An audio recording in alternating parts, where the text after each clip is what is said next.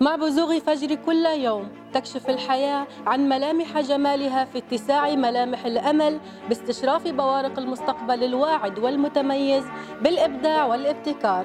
وفي زاوية على طريق ذلك المستقبل حيث أنا الآن في مؤتمر التحالف الدولي للمحاميين بلندن.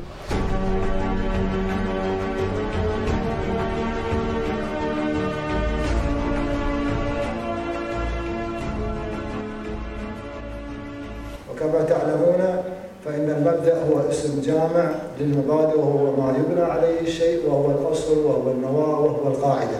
لذلك لم يخلو مكان أو زمان من دعاة الفتنة وعشاق الخراب حيث يجتمعون ويبثون سمومهم في بعض البشر لبث الفرقة والشحناء والبغضاء بكافة الطرق.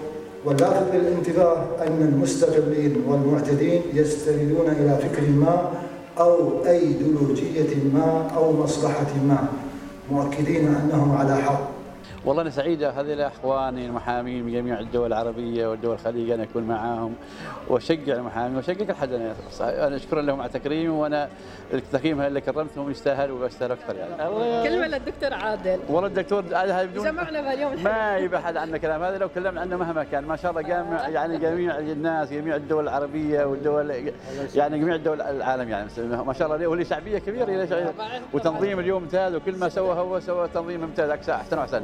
دائما. يبهرنا ما شاء الله إيه، ما شاء الله عليه والله هو أخ وأب الله- و- وأخو كبير وكل شيء والله الله العظيم ما. شاء الله. أنا الناس الجيدين اللي مثل الشيخ أحمد ابدا ما أنساهم ودائما نتواصل كل يوم نتواصل كل الله يوم سبحان الله. هو مفهوم العدل والعدالة أنا أسألك اليوم. هذا هو.